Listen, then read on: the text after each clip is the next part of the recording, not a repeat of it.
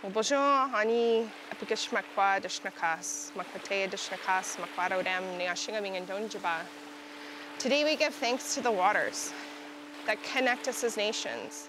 We give thanks to the lakes and the rivers that flow and allow us to travel and connect as communities, to share our teachings, to share our knowledge, to share our systems of how we live together in peace. With that we say Chimigwach.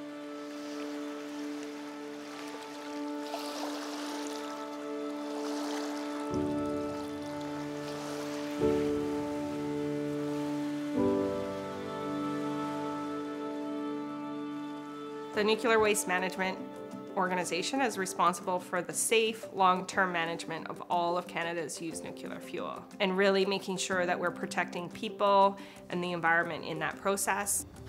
The name of my community is Neashingaming, which means a point of land surrounded by three points of water. Within an Indigenous worldview, we really see water as Mother Earth's lifeline. It really is that thread of life to all creation. I think what Indigenous nations are asking people globally is to understand that connection.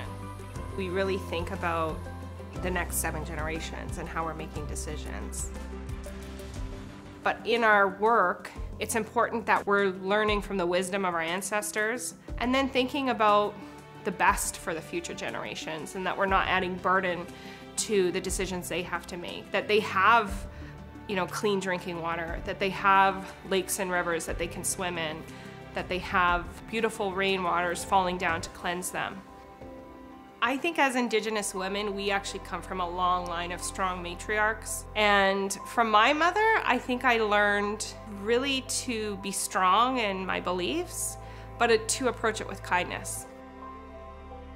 As an Indigenous person working within kind of that technical space, I really see my role as, as kind of a bridge between both those ways of knowing. So it's um, breaking down those silos that exist within colonialistic systems that have been really driven to kind of push heart intelligence down. And by leaning on the richness and, and sophistication of indigenous knowledge or indigenous science in that work, it really just adds another layer on.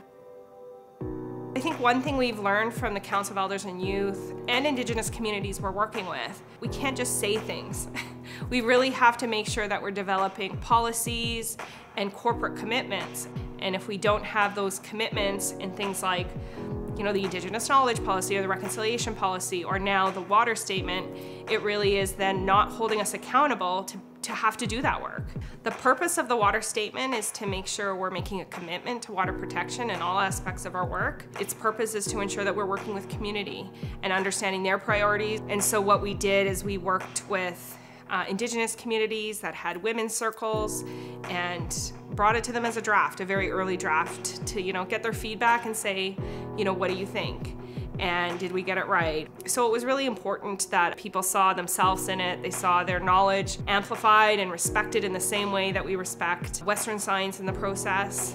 And so we also have to think about how are we acknowledging not only the people that we're working with in that area, but the land that we're working with. Listening to the land and incorporating that voice into shaping who we are as an organization. The water statement is that kind of foundational piece to make sure that we are making those commitments. I think it will be vital to our success.